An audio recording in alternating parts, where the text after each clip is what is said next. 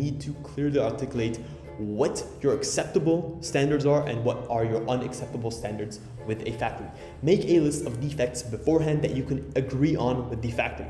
Typically, you'll want to bake in a 5% defect variance in your total order, which means no more than 5% of your products in this mainline production can have these defects.